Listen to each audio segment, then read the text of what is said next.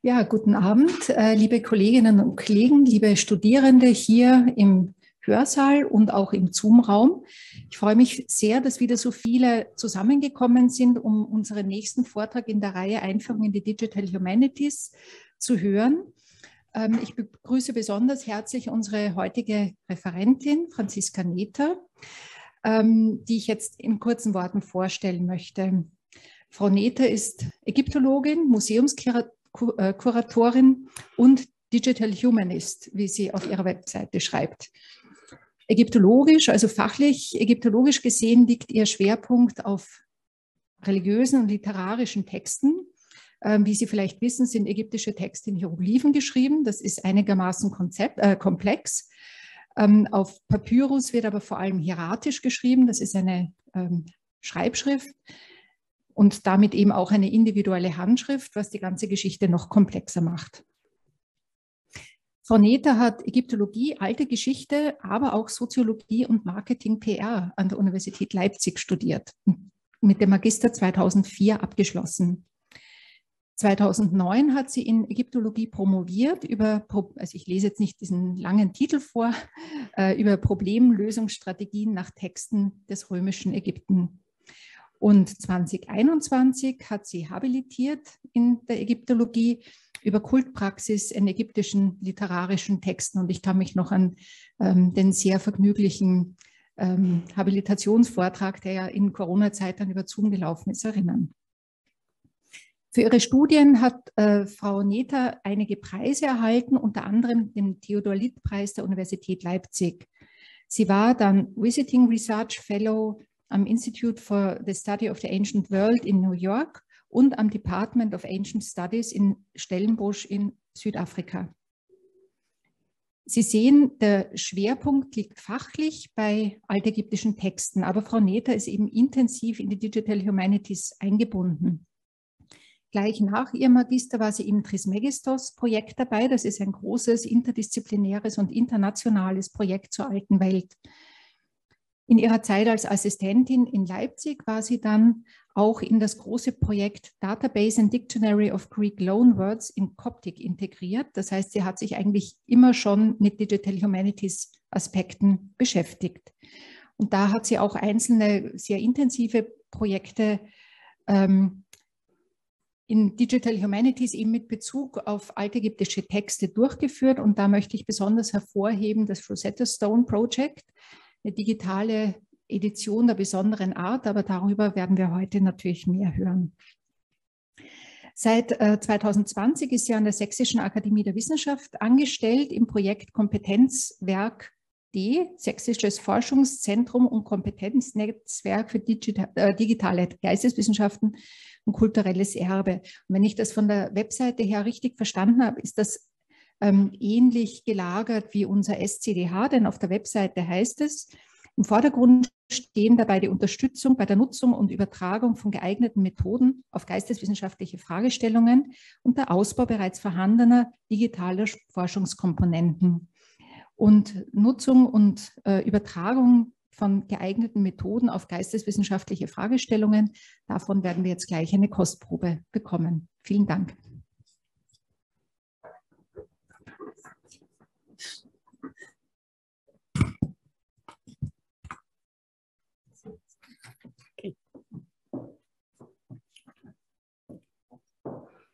Ja, vielen herzlichen Dank für die freundliche Begrüßung. Liebe Frau Lohwasser, vielen herzlichen Dank für die Einladung nach Münster.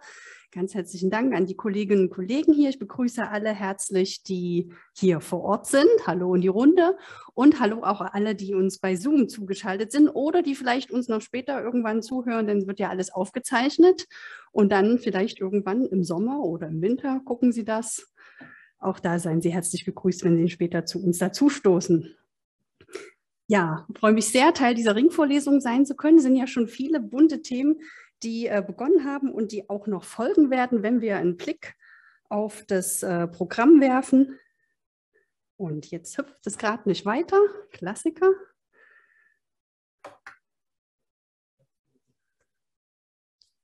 Ja.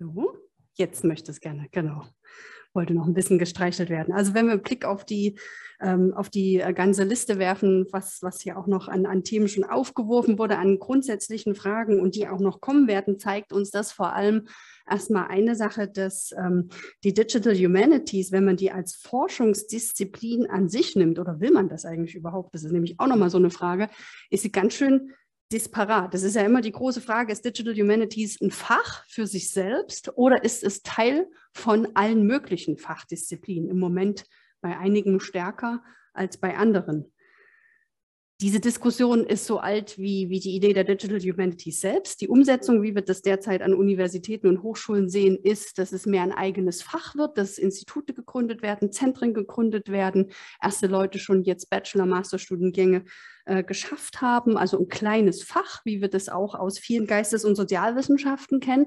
Aber im Grunde genommen muss ja das Ziel sein, zumindest nach meinem Dafürhalten, dass Digital Humanities Teil aller Disziplinen irgendwann sein wird. Und nicht nur von den Leuchtturmen, wie zum Beispiel die Altertumswissenschaften, die ja eine Keimzelle der Altertum der Digital Humanities sind, insbesondere Papyrologie. Warum? Papyri sind ganz oft äh, zerschnitten worden oder zerteilt worden und da gibt es ähm, in den verschiedenen Archiven der Welt dann mal ein Stück, ein Fragment in Rio de Janeiro und eins in Zagreb. Das ist immer so mein Lieblingsbeispiel. Da gibt es einen Totenbuch-Papyrus, der in zwei Teile geteilt ist und auf zwei Kontinenten. Kriegt man physisch nie zusammen, kriegt man nur virtuell in irgendeiner Form wieder zusammen, es sei denn, jemand macht mal eine Sonderausstellung, aber auch dann wird das nur temporär sein. Also Altertumswissenschaft ist eine Keimzelle für Digitalisierung an sich, aber natürlich auch für die Digitalität selbst, die an sich ja auch nicht aufzuhalten ist und ist ja auch schon Teil der Forschung, gerade wenn wir in äh, Sozialgeschichte gucken, Anthropologie, Ethnologie, da ist ja das Erleben der Digitalität, der Umgang mit Apps, mit Handys im täglichen Leben ja schon Forschungsgegenstand von vielen Arbeiten und äh, Studien. Deshalb, weil das so disparat ist, greifen die Digital Humanities ganz, ganz viele Fragestellungen auf, die die Wissenschaftscommunity, die Forschung, aber auch die Gesellschaft selbst äh, betreffen. Also da ist ganz schön viel Aktivismus auch inklusive in den Digital Humanities, was eben auch das Vortragsprogramm sehr schön beweist. Da ist zum Beispiel die Frage eben der Verortung, die ich schon angerissen habe. Da gibt es eben so die Fragestellung, ist Digital Humanities so ein Big Tent? Und was ist alles in diesem Big Tent, also in diesem großen Zirkuszelt mitzufinden? Die ganzen AGs von den Forschungsverbunden für Digital Humanities, die haben Untergruppen zum Thema Theory Telling, also wo kommt das Ganze her, wie selbstreflexiv ist man, wo verortet man sich? Und da sind das wahrscheinlich auch ganz, ganz viele Fragen, die man sich dann stellt, für die man nie so richtig eine Antwort hat, aber unglaublich lange auch diskutieren kann. Ja, und dann betrifft das eben auch Fragen, wie gehen wir mit unseren ganzen digitalen Daten um, die wir da so äh, rauskriegen. Wenn man auf eine Ausgrabung geht, werden jeden Tag tausende Gigabyte Fotodaten äh, erstellt. Was macht man? Wie sichert man die? Nicht nur zehn Jahre, nicht nur am Rechner auf der Grabung. Was ist, in, was ist vielleicht in 50 Jahren damit? Wer kann diese Formate noch äh, lesen? Ne? Also diese ganze Frage der Nachhaltigkeit von Projekten. Erhard Gräfe hat hier in der Ägyptologie viele Datenbanken angefangen die alle auf eine Art und Weise dann auch schon wieder geupdatet werden mussten in die Formate, um die heutzutage nutzbar zu machen. Und da können wir sehr froh sein, dass ähm, das hier in Münster angegangen wurde, weil wäre ja schade drum für die ganze viele tolle Arbeit, die da gemacht worden ist. Im, im Bereich Bibliografie, Metadaten für Forschung, Forschungsprojektdaten und so weiter, um einfach nur mal ein lokales Beispiel äh, zu nennen. Und Stichwort Nachhaltigkeit, da komme ich auf was zu sprechen, was ähm, dem Wissenschaftssystem auch inhärent ist. Das sind die befristeten Arbeitsverhältnisse. Also vieles, was wir unter Debatte Frist ist Frust oder Ich bin Hanna mittlerweile kennen. Es wird auch viel in Digital Humanities hinterfragt, unter welchen Bedingungen arbeiten die Kolleginnen und Kollegen. Und ähm, natürlich ist es schwierig, das System an sich erstmal zu ändern, aber es wird mit verknüpft und es wird mitgedacht, dass einfach Personal nur zeitweise da ist. Das ist eben erstmal die Schwierigkeit ähm, des deutschen Wissenschaftssystems. Und dann sind weitere Fragen, die angedacht werden, wie verknüpfen wir die Daten, wie können wir Daten, die wir beispielsweise aus der Ägyptologie haben, mit Datensätzen aus der Ethnologie verknüpfen, weil jemand ein Gebiet erforscht, was einen Raum betrifft, einen gemeinsamen äh, geografischen Raum beispielsweise und irgendwas visualisieren will über die Zeiten hinweg. Stichwort Linked Open Data das Wissen der Welt maschinenlesbar zur Verfügung zu stellen und auch zu visualisieren.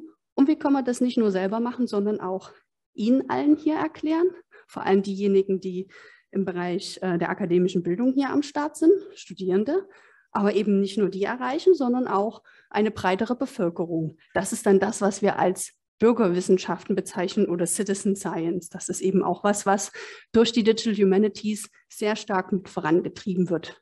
Das können eben Sachen sein wie projektbasierte Lehre. Das werden wir beim Digital Rosetta Stone Projekt gleich sehen.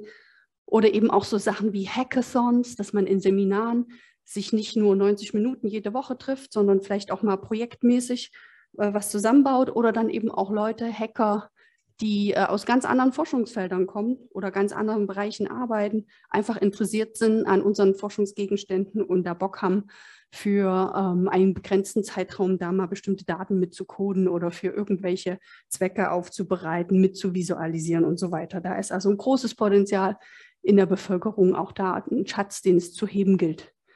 Bis hin zu auch eher Nutzer-, Anwendergetriebenen Sachen.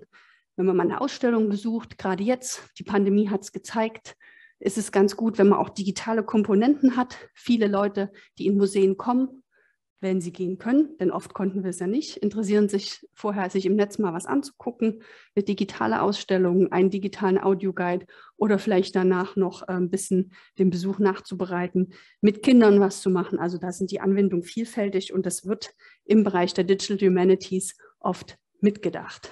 Das war meine relativ lange Einleitung, um so ein bisschen eine Idee zu kriegen und auch einen Bogen zu spannen. Ich möchte das gerne an einzelnen Themen ein bisschen exemplifizieren. Ich werde am Anfang hauptsächlich über das, wie schon erwähnt, Digital Rosetta Stone Projekt reden. Dürfen wir auch. Es sind ja 200 Jahre Entzifferung der Hieroglyphen, die wir in diesem Jahr feiern können. Da halten wir uns ein bisschen länger auf. Dann werde ich noch kurz auf ein Leipziger Projekt eingehen über den Papyrus Ebers, der in einer neuen Form visuell vorliegt. Das ist ganz interessant für die Technologie, die hinter den Bildern steckt. Das mag vielleicht den einen oder anderen hier interessieren.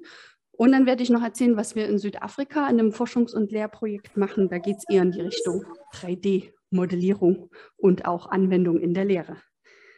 Noch ein ganz kurzes Wort ähm, zu dem zu der Gruppe, wo ich arbeite, das Kompetenzwerk D. Da werden Sie dann beim nächsten Mal einen weiteren Vertreter, meinen Kollegen Görg Goldhahn, sehen.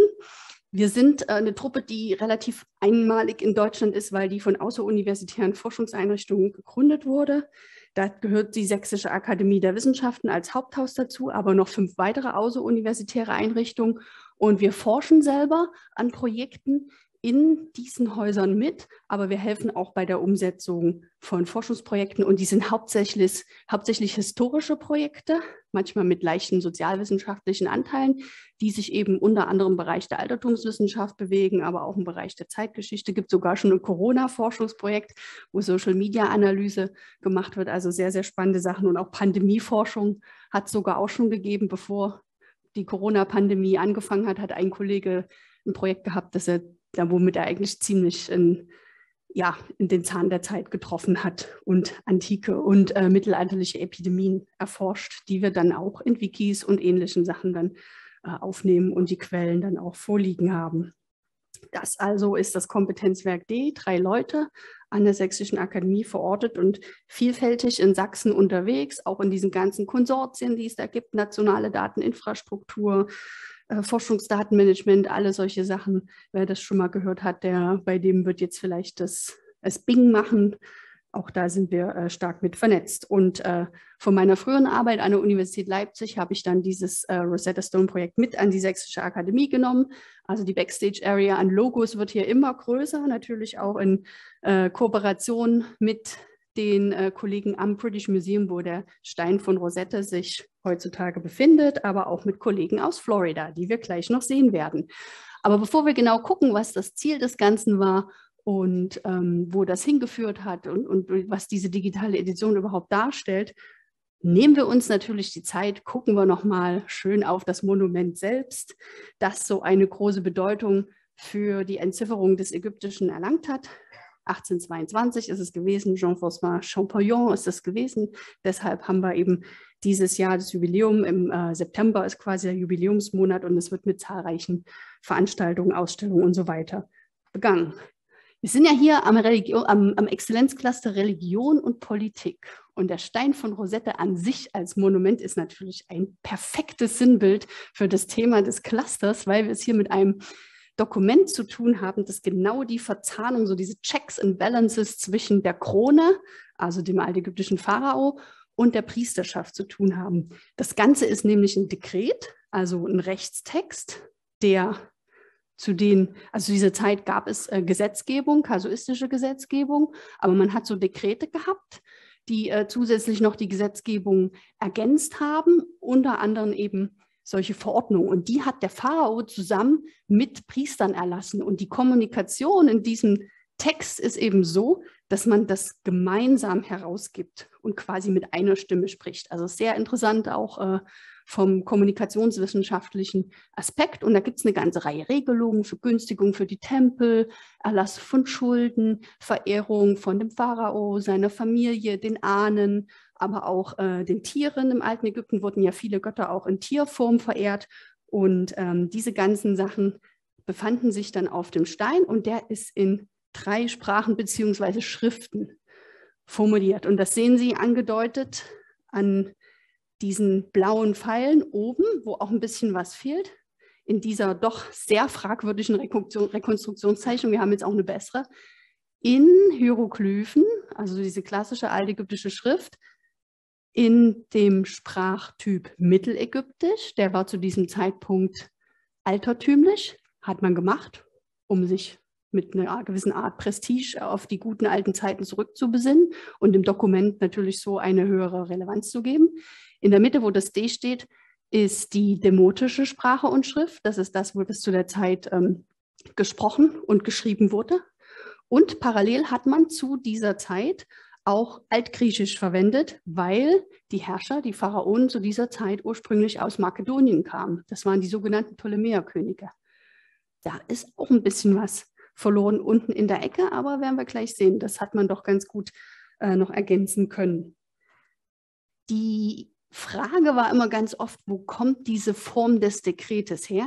Im alten Ägypten kennen wir natürlich Dekrete, so als Texttyp, als juristischen Typ, schon aus dem sogenannten Alten Reich, also ähm, drittes Jahrtausend vor Christus, aus Zeit von unter anderem Pepit II. gibt es Dekrete aus dem sogenannten Neuen Reich, 1500 äh, vor Christus und folgende gibt es Dekrete. Aber diese Art dieses Priesterdekretes, das kommt ursprünglich aus Griechenland. Da gibt es nämlich aus dem athenischen Raum und anverwandten Raum ab dem 5. vorchristlichen Jahrhundert ähm, auch ähm, Texte, die Formulierung tragen, die dem vom Stein von Rosette und von ähnlichen solchen Dekreten, gibt nämlich noch mehr davon, sehr ähnlich sind.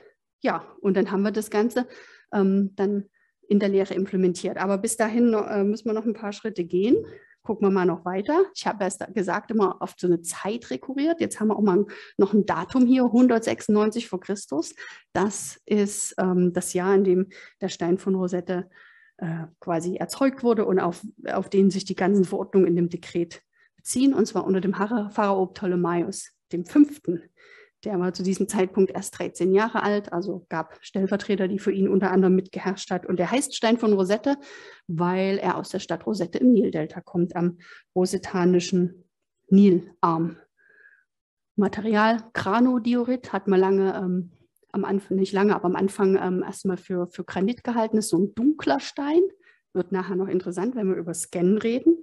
Ja, und war ursprünglich vermutlich mal 1,50 hoch, grob, aber es ist nicht alles erhalten. Und äh, das Foto rechts äh, auf der Folie symbolisiert so ein bisschen, wie groß diese Dekrete gewesen sind. Also waren ziemliche, ziemliche Teile. Das sind ein paar Studierende, die hier mal ein Faksimile von einem anderen Dekret hochhalten, vom Canopus-Dekret. Also da sind einige hinten dann auch noch auf dem Stuhl und halten dann die Tafel noch mit aus der Publikation.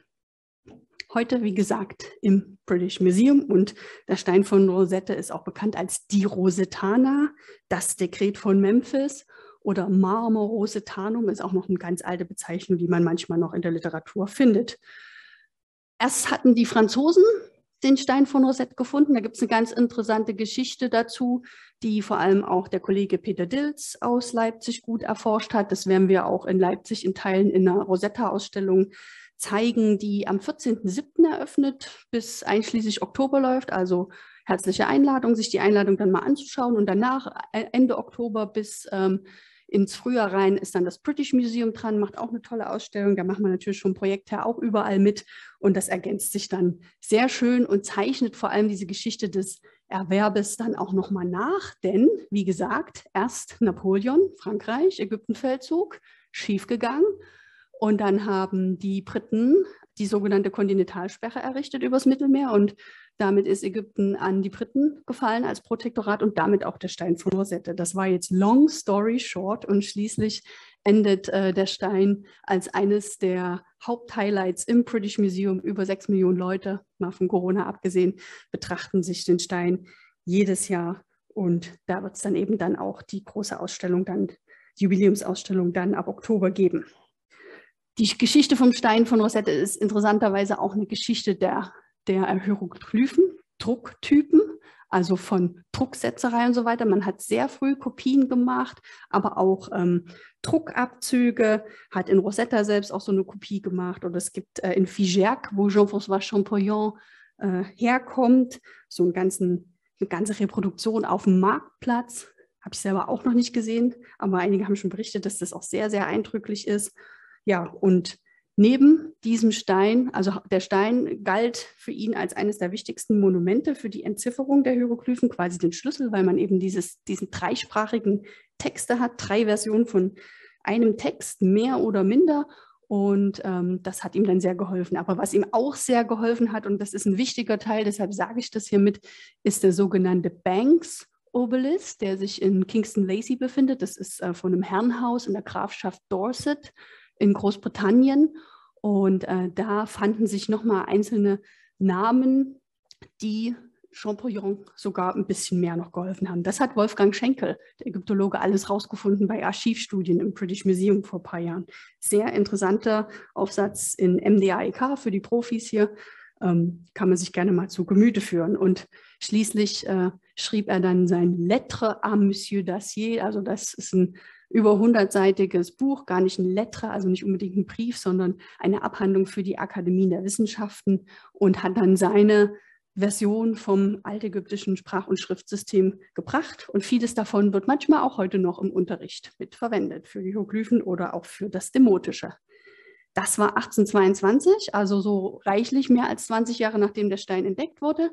Die griechische Epigraphik war ein bisschen schneller, weil Altgriechisch kannte man nach wie vor. Dafür ist das Wissen nie verloren gegangen. Und wie sind wir jetzt, wie kommen wir jetzt überhaupt zu Digital Humanities? Jetzt haben wir endlich den Bogen geschafft. Meine Kollegin Monika Berti in Leipzig, die ist Altphilologin und Digital Humanist, hat ein Projekt, wo sie griechische fragmentarische Texte sammelt, digitalisiert und neue Editionen macht. Und da kam der griechische Text vom Stein von Rosette drin vor. Und dann hat sie gesagt, das ist ja Quatsch, das alles ähm, einzeln zu machen. Es ist ja ein Text mit noch zwei weiteren Versionen, hat mich angesprochen, hat währenddessen hier weitergearbeitet an äh, der Edition und wir haben zwischendurch auch eine ganze Reihe Leute äh, zusammengebracht, um eben die, die Digital Humanities im Bereich Altertumswissenschaften eben nicht isoliert zu betrachten, wie das viele, viele Jahre getan wurde und auch generell ähm, in der Forschungsgeschichte oft war, dass äh, Altgriechisch, Latinistik, also die klassische Philosophie, ihr Ding macht und die Ägyptologie, Koptologie ein anderes Ding macht, sondern dass wir wirklich alle zusammenbringen, weil wir arbeiten mit Quellen, die zweisprachig, dreisprachig sind, die aus dem gleichen Land, aus dem gleichen sozialen Kontext kommen. Ja, und dann haben wir noch äh, die Chance genutzt, ein Lern-Lehrprojekt einzuwerben, was vom Bundesministerium für Bildung und Forschung gefordert wurde. Und dann haben wir losgelegt und uns zusammengetan mit den Kollegen aus Florida. So kriegen wir jetzt die noch mit ins Boot. Das sind äh, zwei Professoren an der University of Florida, Alenia Bosia und Angelos Bamputis. Die sehen wir auch gleich im Bild. Die haben ein Projekt ins Leben gerufen namens Digital Epigraphy and Archaeology. Und äh, die haben da Algorithmen und äh, Methoden entwickelt, wie man in 3D gerade mit Inschriften und Abklatschen ganz gut umgehen kann. Also haben wir beschlossen, für unsere digitale Edition brauchen wir schöne neue Bilder vom Stein von Rosette. Das British Museum hat zwar welche, aber die sind nicht gut genug, wenn man reinzoomt, wenn man auch vor allem dann die Feinheiten in den Hieroglyphen und vor allem auch im Demotischen lesen möchte. Ja, und nach ein bisschen Verhandelei sind wir dann im Juni 2018 nach London gefahren. Die Kollegen haben das möglich gemacht, Ilona Regulski und ihr Team, und haben auch äh, den Glasschrank geöffnet Und da haben wir dann hochauflösende Fotos erstellt und die dann zu 3D-Grafiken umgewandelt. Das funktioniert ungefähr so, wenn Sie gucken, vor allem auf das linke Bild. Hier, da steht der Kollege Bamputis und der hält sowas, sieht so aus wie bei Star Wars die Lichtschwerter. Das ist ein sogenanntes Ice Light. Das ist ähm, Lichttyp, den Polaroid entwickelt hat, gibt aber mittlerweile auch viel günstigere Varianten. Die haben wir dann natürlich verwendet. Und äh, man leuchtet dann auf die Inschrift von vier verschiedenen Seiten. Kann man sich so ein bisschen vorstellen, auch wie ein Scanner über eine, also ein Flachbettscanner über die Seite, das Blatt fährt, wenn er was scannt. Da kommt immer das Licht aus einer Richtung und dann wird es eingelesen und dann hat man dann diesen 2D-Scan, den man dann macht. Und das haben wir quasi von vier Seiten gemacht und diese vier Bilder dann kombiniert. Also nochmal zum Vergleich. Links haben wir in der Folie ein normales Bild mit einer Spiegelreflexkamera aufgenommen. Da wird es im, im, im, Demotischen schon ein bisschen schwierig, vor allem wenn es epigraphisch ist, auch nochmal speziell. Und wenn man dann die Bilder kombiniert und auch noch ein bisschen rumspielt, dann kommt man dann auch was ganz gut Lesbares hinaus. Ich meine, die Hardcore-Demotisten, die gehen auch mit, auch mit ähm, epigraphischem Material wie links um, aber ist schon auch nicht schlecht, gerade wenn man dann visualisieren will und was mitmachen will, dann ähm, so eine Aufnahme zu haben. Das ist schon ein bisschen besser und ist entsprechend auch, wenn sich dafür interessiert, dann da nachzulesen. Was kann man noch machen? Man kann Tiefenkarten erstellen und hat dann wirklich ein richtiges äh, 3D-Bild. Die Kollegen haben auch gearbeitet mit Abklatschen, in der Berlin-Brandenburgischen Akademie der Wissenschaften zum Beispiel. Hier ist äh, der Tatenbericht des Kaisers Augustus zu sehen. Also sehr gut geworden, eignet sich, diese Technologie Shape from Shading eignet sich besonders gut für Inschriften, die so bis zu 0,81 Zentimeter Schrifttiefe haben, also perfekt für den Stein von Rosette. Wir haben uns natürlich hier im Bild, um es nochmal zu nehmen, wirklich auch die böseste Ecke ausgesucht. Gerade die, die linke obere Ecke, da geht nämlich eine hellere Gesteinsader durch äh, den Stein, der sonst eigentlich so anthrazitgrau ist, also so ein Farbton zwischen grau und schwarz, was gar nicht so einfach ist für 3D-Scannerei. Also alles, was so dunkel ist oder auch was so shiny, golden, silber ist, ist schwierig. Also das, denke ich, haben wir ganz gut hingekriegt und da wollen wir in Zukunft noch ein bisschen an den Bildern arbeiten. Und viele Kollegen haben das auch schon genutzt ähm, für ihre Arbeit am Text. Das haben wir dann natürlich auch mit denen geteilt und natürlich auch mit dem British Museum. Ja, und was haben wir jetzt weiter noch damit gemacht? Wir wollten ja so eine Art Lern-Lehrprojekt machen und da noch eine digitale Edition draus machen. Und äh, das nennt sich Alignment. Und um das mal so kurz zu erklären, hole ich kurz aus. Ähm, heutzutage lernt man ja Sprachen durch alle möglichen Arten. Das Vokabelheft, die Sprachreise oder irgendwas sich über Podcasts anhören, sind ja ein paar Varianten, Zettelkästen. Aber viele nehmen natürlich auch Apps zum Sprachenlernen, wo man ähm, quasi Wörter mit der eigenen Sprache matcht, also Vokabeln so lernt, aber man kann natürlich auch so ganze Sätze matchen oder ganze Ausdrücke. Und dieses Matching, das ist letztendlich das Alignment, so dieses Wort für Wort oder ähm, diese Wort für Wort oder diese Wortgruppe für Wortgruppe Entsprechung. Und da gibt es ein Portal im Netz, das heißt Ugarit. Das hat witzigerweise auch ein Kollege aus Leipzig entwickelt, Tarek Youssef. Und äh, das nutzen viele Kollegen, um Sprachen der Welt damit zu vernetzen. Also vor allem kommt, das kommt natürlich so aus dem Bereich klassische Philologie, da gibt es viel Griechisch, Latein, aber es gibt auch ein bisschen Ägyptisch, wenn man rechts äh, sich das anschaut. Und viel natürlich ist auch Englisch und äh, moderne Sprachen. Wir haben auch Leute, die chinesische Poesie kontemporäre, also von jetzt mit ähm, äh, englischen Übersetzungen gematcht haben, einfach um, um das äh, Tool damit zu füttern und zu trainieren und auszuprobieren. Das äh, war vor allem eine schöne Geschichte in der Pandemie. Das ist vor der Pandemie. Dann ging es ganz schön hoch, wenn immer mal so Kurse waren, wenn irgendwo auf der Welt Leute äh, mit Studierenden was gemacht haben. Und ich habe jetzt nicht die aktuellen Statistiken für ab März 2020, aber das ging sowas von ab und sowas von in die Höhe. Das kann sich, glaube ich, jeder hier und auch im Zoom-Raum vorstellen, ähm, dass gerade die digitalen Tools und der Zugriff für die, für die Texte über solche solche Plattformen dann einfach ganz wichtig war, weil wie sind wir sonst an die Sachen rangekommen? Wie sind, haben wir sonst unterrichtet? Wie haben wir sonst äh, Aufsätze und weiteres geschrieben? Wie macht man das? Also man macht dann so Paare mit Sprachen. Und wenn man Sprachen nicht kann, also gerade hier im Bereich, hier haben wir mal was Arabisches, da gibt es sogar auch Lesehilfen, um Dinge einzugeben. Und letztendlich matcht man einzelne ähm, Wörter miteinander, zum Beispiel ein ägyptisches Wort mit einer Übersetzung. Hier haben wir sogar auch was in Altägyptisch, in, in der Transliteration des Altägyptischen eingegeben. Also das ist dieses Tool iAligner, was wir dafür verwendet haben. Und das ist total super. Das hat nämlich drei Felder. Das heißt, wir können diese drei Versionen des Steins von Rosette damit reinnehmen. Ist auch ganz toll für Leute, die zum Beispiel auch an persischen Texten oder an, an, an alten Texten arbeiten, die aus, eben aus dem Bereich Westasien kommen, weil wir da auch oft drei- oder sogar viersprachige Inschriften haben. Ja, und da will ich jetzt gar nicht hier im Detail äh, wie man das macht, irgendwie eingehen, sondern auch ein bisschen auf die, auf die Resultate zu sprechen kommen. Weil ja die Frage immer ist, ist das nun, ist der Stein von Rosette, dieser Text irgendwie ein Text in drei Sprachen, also quasi übersetzt, so eine eins zu eins Übersetzung oder hat jede einzelne Version da auch ihre Relevanz? Gibt es da Unterschiede? Und natürlich gibt es diese Fälle der 1 zu 1 Übersetzung. Ich nehme gleich mal das nächste Beispiel. Das ist nämlich ganz interessant. Hier hat es mir ein bisschen die, die äh, Codierung zerhauen, bitte ich zu entschuldigen. Ähm, das ist der letzte Satz und zwar zum Stein von Rosette, wie der aufgestellt werden soll, warum der wohin soll. Man schreibe diesen Erlass auf eine Stele von festem Stein in der Schrift der Gottesworte, hieroglyphisch, mittelägyptisch, in der Schrift der Briefe, demotisch und in der Schrift der Griechen, die altgriechische Version. Und das Ganze äh, dreimal, also links habe ich jetzt gerade vorgelesen, das ist eben die hieroglyphisch-mittelägyptische Version, in der Mitte dann die demotische Version und dann am Ende noch das griechische. Können wir sehen, wenn Sie jetzt so ein bisschen mit überfliegen, ist quasi grob das Gleiche, wenn natürlich auch Feinheiten in den Sprachen sind. Irgendwas, was im Ägyptischen mit einem Verb dargestellt wird, wird im Griechischen vielleicht mit einer anderen Konstruktion gemacht und so weiter. Das sind dann halt die linguistischen Feinheiten der einzelnen Sprachen. Aber es gibt auch Differenzen und da wird es dann spannend, nämlich wenn mal was ausgelassen ist, wenn eine Reihenfolge umgekehrt ist, wenn irgendwas ergänzt wurde in der Version, es vielleicht sogar auch Fehler gibt oder ähm, irgendwelche ausführlichen Dinge, Verkürzungen gegenüberstehen.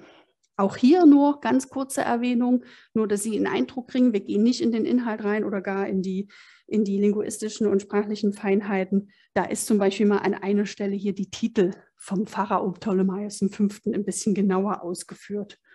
Oder hier in diesem Beispiel, da werden die Schulden erst verringert, dann erlassen. Im Demotischen und im Griechischen schreibt man erst erlassen, dann verringert. Das sind manchmal auch einfach ähm, auch ähm, übliche Formulierungen, Formular aus diesen Ehrendekreten oder im Ägyptischen heißt es im Demotischen mal zu Lande und zu Wasser, während im Griechischen eher zu See und zu Land die Formulierung ist. Das ist so eben formelhafte idiomatische Sprache. Das konnten wir hier finden. Weniger, was wir finden konnten, sind zusätzliche Wörter und Satzteile, die eingefügt werden. Und hier haben wir mal einen kuriosen Fall.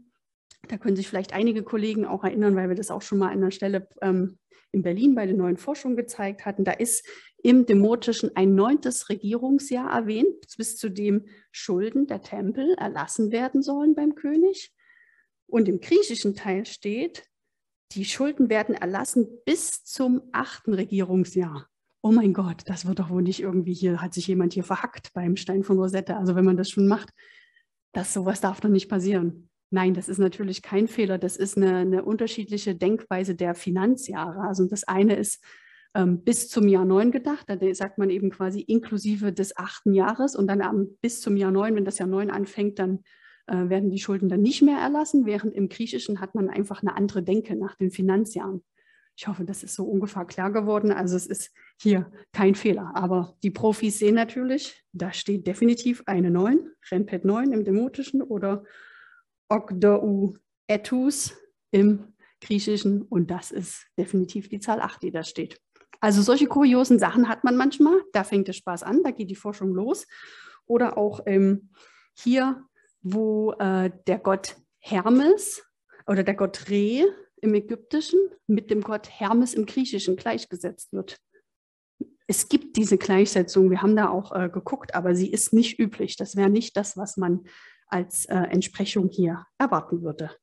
Und manchmal kann man solche Sachen auch komplett äh, kombiniert haben in einzelnen Fällen und ähm, möchte an dieser Stelle eine Kurzzusammenfassung machen, dass man nicht ein Dekret in drei Sprachen hat, sondern eben, dass jede Version hier ihre Relevanz hat. Soweit dazu. Das haben wir dann versucht zu visualisieren. Ich will jetzt nicht direkt in die Website reingehen, auch aus Zeitgründen. Einfach nur äh, kurz erwähnt, man kann auf die Website gehen und mit der Maus drauf rumfahren, so wie hier diese, in diesem Screenshot die Maus hier oben angedeutet ist mit dem Finger. Und da zeigt es einem dann, wo man sich genau im Text befindet und ähm, welche Zeile welcher anderen entspricht in den drei Versionen. Und wenn man dann genau klickt, kann man dann äh, zu, dem, zu dem Alignment in dem Ugarit Eye Aligner kommen. Da äh, für diejenigen, die es interessiert, das ist ähm, in HTML über strukturierte XML-Dateien gemacht worden und hat dann eine gewisse Hierarchie, wie die Informationen dann auch präsentiert werden. Falls bei allen Sachen gilt überall, ich reise hier vieles nur an. Wenn Interesse dran besteht, einfach kurz notieren und dann gehen wir dann am Ende darauf in äh, der Diskussionssession noch mit ein. Ja, und diese Art des Alignments haben wir in den Unterricht eingebunden und äh, da auch Sachen mit Studierenden andere Dekrete uns angeguckt und da haben Studierende auch Dinge übersetzt in Sprachen, die sie gar nicht konnten, haben versucht nachzuvollziehen. Eben gerade Ägyptologen haben versucht, Latein oder Altgriechisch nachzuvollziehen und das war ein großer Spaß. Alle haben viel mehr gemacht, als sie eigentlich mussten bei den Hausarbeiten und Hausaufgaben. Und wir haben sogar noch äh, Feedback für die Entwickler von Ugarit geben können. Also es war wirklich eine Win-Win-Win-Situation, hat äh, ganz viel Spaß gemacht und ich freue mich schon, das auch im Unterricht bald wieder einzusetzen. Und es können alle auch nachnutzen, da die ganze Technologie und alles ja online ist. Oder wenn man noch ein bisschen mehr damit rumspielen will, wir natürlich da auch alles rausrücken, was es da noch gibt. Eine Sache, wo wir noch dran sind, das ist das sogenannte Tree Banking. Das existiert bis jetzt nur für das Griechische. Das ist ähm, eine Sache, wie man Grammatik darstellen kann, ganz kurz gesagt, in einer Visualisierung eines Baumes, deshalb Tree. Keine Sorge, wird hoffentlich gleich klar. Man muss dafür eine Grammatik beim Computer, also bei, dem, bei der App hinterlegen. Aretusa heißt die, gibt aber auch noch viele andere. Und ähm, diese Grammatik muss natürlich definiert sein. Für das Ägyptische fangen wir, fangen wir das gerade an und da haben einige Kollegen hier auch schon mal vorgelegt. Ne? Das wären, sind auch bekannte Namen. Camilla Di Bias-Dyson, Frank Kammerzell und Daniel Werning haben das mal angepasst für das äh, Ägyptische nach den sogenannten Leipzig Closing Rules. Die heißen so, weil die aus dem Max-Planck-Zentrum für Anthropologie ähm, für evolutionäre Anthropologie stammen, die sich ganz viel mit der Spracherforschung auseinandersetzen und eine riesige Datenbank haben von allen Sprachen der Welt, die je existiert haben. Auch ähm, absoluter Linktipp hier an dieser Stelle. Und ähm, da versucht man halt darzustellen, wie auf der Satz- und der Wortebene die Grammatik funktioniert. Also wird geguckt, was sind Hauptsätze, was sind Nebensätze, wie, was ist es für ein Satztyp, muss man da genau hinterlegen oder auch angeben und auch die Phrasen im Satz, die vorkommen können, wie Subjekt, Objekt, Prädikat, gibt man an.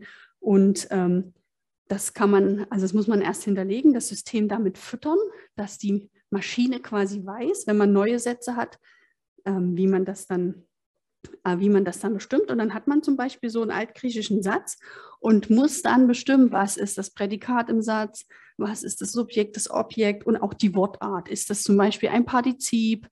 Männlich, weiblich, sächlich, was es auch immer in den jeweiligen Sprachen gibt. Und wenn man das alles richtig gemacht hat und das auch äh, stimmt mit der hinterlegten Grammatik, dann kommt dann Baum raus. Deshalb Tree Banking kann man auch so machen.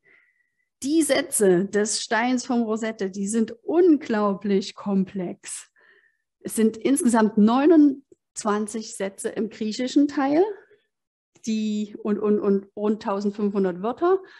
Das heißt, es entfallen 52 noch was äh, Wörter pro Satz. Schreiben Sie bitte nie so, weder in Ihren Hausarbeiten noch in Ihren, was weiß ich, Pressemitteilungen oder akademische Publikationen. Da steigt jeder aus beim Lesen.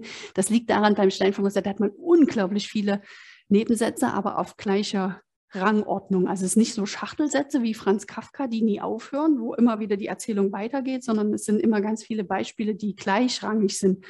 Aber das ist schon eine Hausnummer für sich, einen so langen Text zu haben. Ja, und dann kann man natürlich rumspielen, so ein bisschen lexikostatistische Analysen machen, wie viele Wörter pro Zeile, wie viele Textwörter, wie viele äh, Sachen haben wir als Belegstellen und was für Wortkategorien werden verwendet und in welchen Sprachen hat man ähm, dann was für Häufigkeiten. Das ist natürlich auch sehr stark dann äh, den Sprachen geschuldet.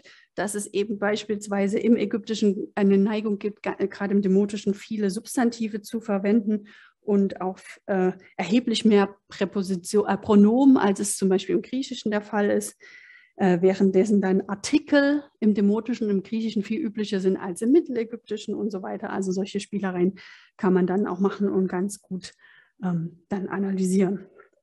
Ja, und um das auch noch ein bisschen zugänglicher zu machen, haben wir auch mal eine Online-Ausstellung gemacht. Da ist ein Link. Ähm, das äh, können, kann ich auch gerne nachreichen oder noch einen Check packen nachher. Da haben wir viele Sachen, die ich jetzt erzählt habe und auch noch mal in aller Ausführlichkeit dann damit dargestellt. Das haben wir mit DDB Studio, ein Omeka-basiertes System der Deutschen Digitalen Bibliothek gemacht, auf Deutsch und auf Englisch ja, das waren so die Sachen, die ich fürs Digital Rosetta Stone Projekt zeigen wollte. Wir arbeiten jetzt noch fleißig dran, diese Tree Banking Sache fürs Ägyptische weiterzubringen. Das ist nicht ganz trivial und auch noch schön Forschungsdatenmanagement zu machen, also zu dokumentieren. Das läuft dann wie so vieles im Bereich Digital Humanities auf dem Portal GitHub. Und ich sagte es schon, das 3D-Modell soll noch ein bisschen verfeinert werden und wir beteiligen uns außer an den Aufsätzen und an, an den Ausstellungen, die laufen natürlich auch an der Lehre und so weiter. Und ähm, sollte es mal, und wenn die, die Unicode-Hieroglyphen dann gut eingebaut werden können, das ist nämlich nochmal eine interessante Fragestellung für die Ägyptologen über die Darstellung der Hieroglyphenschrift im, ja, im Digitalen, das, ähm, dann werden wir das auch entsprechend mit einbinden. Ein paar Worte möchte ich verlieren zu einem noch ganz anders gearteten Text, was aber auch ein bisschen äh, auch wichtig ist und Weltdokumentenerbe ist. Das ist der Papyrus Ebers. Den haben wir ähm, bei einem Kongress hier mal gezeigt. Das sind hier alle Hilfskräfte in voller Schönheit, die mitgeholfen haben. Das war 2017 beim Demotisten-Kongress. Und da sind wir natürlich mit allen Papyrus-Freunden und Kollegen da in die Sondersammlung gegangen, haben auch den Papyrus Ebers angeschaut. Der ist ein relativ spektakulärer Text, weil er die längste, eine der längsten Schriftrollen überhaupt ist, die wir aus Ägypten überliefert haben. Und hier in dem Falle ein Text äh, der altägyptischen Heilkunde. Kommt ursprünglich aus Theben. Kontext ist nicht ganz klar, heißt Papyrus Ebers, weil der Ägyptologe Georg Ebers ihn angekauft hat.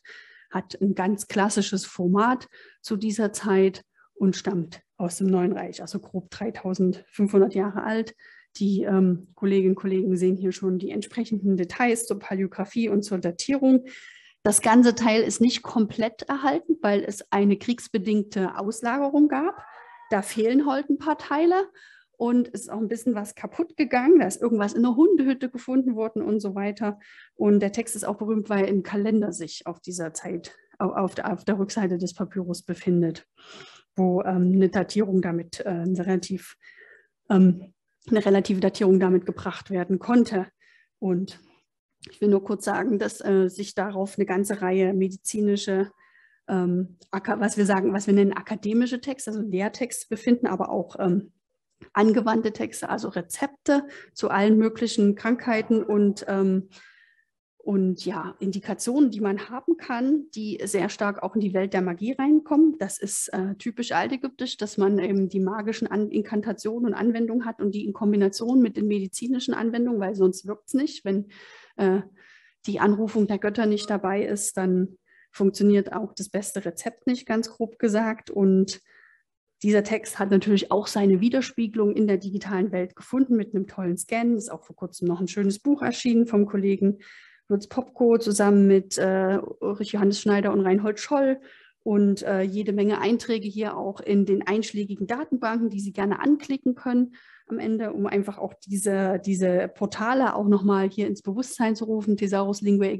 ja eine Volltextdatenbank für alle ägyptische Texte, Science in Ancient Egypt, ein Portal, was äh, unter anderem auch ähm, die Kollegin Anke Plöbaum, die hier auch in Münster und Leipzig arbeitet, mit bespielt und so weiter und so fort. Und ähm, da gibt es eine Website mit einem kompletten Scan von diesem Text. Ganz unten sehen Sie mal eine Seite in voller Länge. Also wirklich, das sind alles wirklich einzelne Papyrusseiten, einfach um einen Eindruck zu bekommen, wie lang das Ding ist. Das sind ähm, über 18 Meter. Und diese Website ist relativ früh erstellt worden, Anfang der 2000er und wie so vieles nicht mehr gut handelbar, weil wir machen jetzt was, das sich Triple IF nennt, also diese drei Is und ein F. Also da geht es darum, ähm, bis auf eine bestimmte Ebene von Fotos reinzuzoomen und das mit Informationen zu verknüpfen.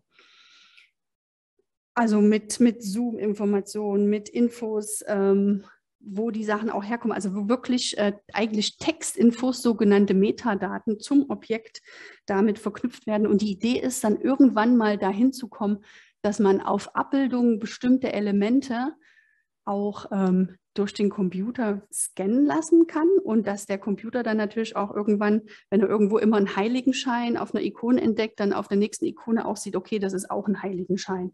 Oder was in vielen anderen Projekten gemacht wird, wo es Fotos von, von Tieren gibt, dass der Computer sieht, okay, das ist ein Elefant und auf dem nächsten Bild ist es auch einer. Um das Protokoll, was dahinter liegt, um sowas zu ermöglichen, heißt Triple IF und das hat äh, die Uni Leipzig dann für den Papyrus Ebers auch nochmal gemacht und dann haben sie auch nochmal eine schöne ähm, Sache gemacht, ein Showroom, wo äh, dann auch nochmal das ganze Ding gescannt wurde und als Replik ausgedruckt wurde, was man sich jetzt heute in der Universitätsbibliothek angucken kann, inklusive des schönen Kalenders. Ist also wirklich ganz toll geworden als Projekt. Und die Take-Home-Message jetzt aus diesem kleinen Abschnitt war, also dieses Triple IF Manifest, diese Art und Weise mit Bildern zu arbeiten, ist eben auch eine Sache, die unter anderem in der Ägyptologie, aber ganz viel in der Handschriftenkunde auch gemacht wird oder in Projekten, die mit viel mit Bildern arbeiten, mit Wandmalereien und ähnlichen Sachen. Da ähm, gibt es ganz, ganz viele Anwendungsfälle. Als letztes möchte ich noch auf ein Projekt eingehen, das ähm, ich mit meinen Kollegen in Südafrika mache, unter anderem oder hauptsächlich mit Dr. Samantha Masters. Das ist eine klassische Archäologin, die sich vor allem mit griechischer Vasenmalerei und Rezeption in Südafrika beschäftigt. Das ist nämlich ganz interessant, da die antike Welt dort natürlich eine koloniale Geschichte hat am Kap, aber auch eine Geschichte innerhalb von von Widerstandsbewegungen, von, ähm, ja, von schwarzen Bewegungen, wo eben antike Motive verwendet werden im Bereich der Plakatkunst, wo antike Dramen wiederverwendet werden und im politischen Kontext gepackt werden, was auch viele ähm, hier auch in Europa gar nicht wissen. Und da ist diese Rezeptionsgeschichte auch nochmal äh, ganz interessant, neben der Erforschung der Artefakte an sich in den doch zahlreichen Sammlungen. Und es gibt da nicht nur griechisches und römisches, sondern auch mesopotamisches und altägyptisches. Und da gehen wir oft mit den Studierenden, haben wir eben vor drei Wochen das letzte Mal gemacht, in die Museen und äh, lernen was über die Artefakte, über die Sammlungsgeschichte, aber wir machen auch 3D-Modellierungen und stellen die Sachen ins Netz und haben dann auch eine Datenbank, wo das dann alles eingebunden wird. Und die Studierenden müssen das dann vorstellen, also auch die Leistung, das Modell zu bauen, das Objekt zu charakterisieren und dann auch die Präsentation ist dann auch so ein Aspekt, wie wir das in der Lehre dann mit angehen. Denn es gibt ein Modul Ancient Culture, Theory, Method and Sources für Studierende im vierten Jahr Bachelor, britisches System. Da hat der Bachelor vier Jahre und der Master dann eigentlich nur ein Jahr. Und äh, da wollen wir eben diese ganzen Ziele, die wir hier ausgelistet haben, dann auch äh, mitbringen, nämlich die, also eine Visual Literacy zu entwickeln, aber eben auch die Aspekte des Kuratierens antiker Objekte zu erlernen, zu überlegen, was eine gute Ausstellung ausmacht, analog wie digital und äh, die Sachen dann auch der Öffentlichkeit vorzustellen. Der Raum, wo die Objekte sind, ist selber schon sehr, sehr interessant. Das ist die sogenannte Slave Lodge. Also das ist ein, ein, ein Haus, wo früher Sklaven untergebracht werden. Und Sie müssen sich vorstellen, die Studierenden, die wir haben, die haben teilweise das ist nicht weit weg von denen. Das sind drei oder vier Generationen nur, dass Sklaverei in Südafrika von denen entfernt ist. Und wenn man über solche Themen redet, gerade auch in der antiken Welt, dann ist das was, was viel näher noch an allen mit dran ist. Und, dieses, und auch dieses, dieser Museumsverbund ISICO, der sehr, sehr viele Häuser hat, so ein bisschen wie das Smithsonian in, in Washington kann man sich das vorstellen. Ähm, also so eine, so eine Gruppe, die hinterfragen das auch ganz extrem, wie die diese Präsentation machen. Und in dieser Slave Lodge ist nun auch unter anderem die ägyptische Sammlung verortet. Nicht ganz günstig, aber dann doch sehr zentral. Da wird ein bisschen was ausgestellt, aber auch vieles, hier mal so ein bisschen eine Retro-Vitrine, aber vieles ist einfach auch im Magazin. Und da dürfen wir dann immer hinkommen. Da kommen die Kollegen seit vielen Jahren hin. Wer hier ein paar kennt, Isaac Cornelius und äh, Samantha Masters ist die dritte von links.